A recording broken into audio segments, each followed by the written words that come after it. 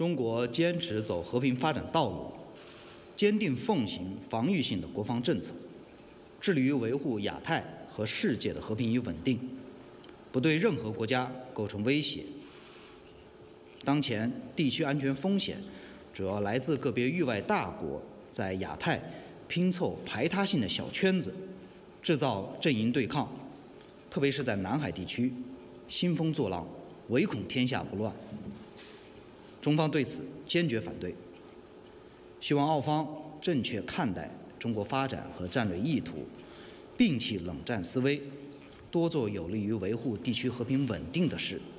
不要动辄拿中国说事。